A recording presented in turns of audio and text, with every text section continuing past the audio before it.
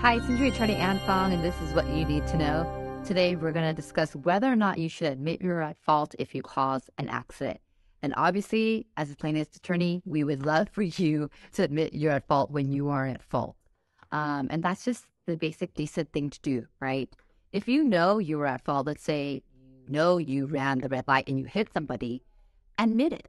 Don't lie. I mean, that's just basic common decency, right? But let's just say you don't know if you had the red light and you could have been yellow or not, and you don't know, then don't apologize because you don't know. But if you're in a situation um, and you know you're at fault, do the right thing because there's unnecessary litigation that needs to happen or, or to drag something on. I think it's just good karma to be an honest person. If you're at fault, apologize and uh, let your insurance take care of it. If you're not at fault and you don't think you're at fault, then don't apologize. Uh, evidence will speak for itself. And that's what you need to know.